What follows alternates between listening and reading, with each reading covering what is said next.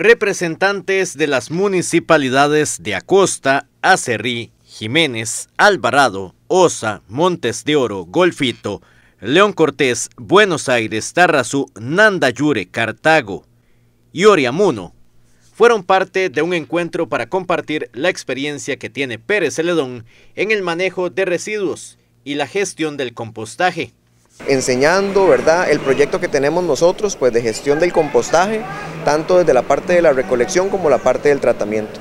Tenemos municipalidades que vienen este, de zonas más lejanas de nosotros, ¿verdad? Como Nandayure o Montes de Oro, y tenemos también vecinos como Buenos Aires, pero es un, un mix de municipalidades, 13 municipalidades que nos vienen a visitar y pues quieren ver la experiencia que tiene Pérez Celedón, que ha sido este, muy exitosa en la gestión del residuo orgánico. La idea es que otras municipalidades apliquen el conocimiento acumulado del proceso que se hace en Pérez Celedón para aplicarlo en los respectivos cantones.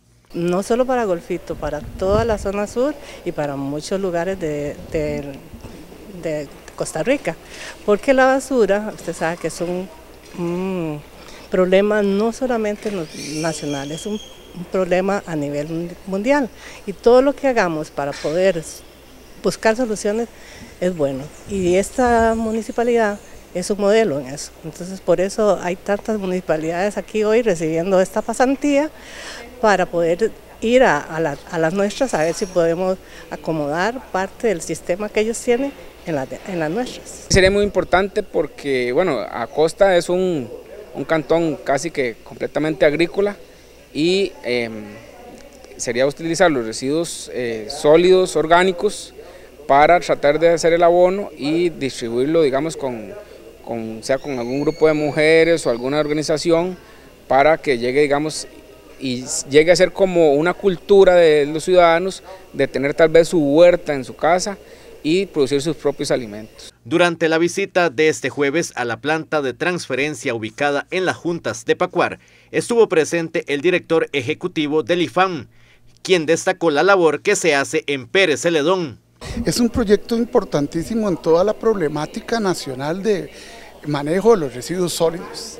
E indudablemente no solo es importante que una municipalidad como Pérez Celedón esté marcando la pauta, sino que también solidariamente lo comparta y lo integre. Y lo mejor, eh, en este intercambio el esfuerzo es el esfuerzo que los funcionarios hagan sin costos de contratación, tiempo, sino, sino en oportunidad en tiempo real y entonces en eso. Es lo que nosotros como institución promovemos, que también las municipalidades vayan aprovechando sus expertices y lo vayan intercambiando.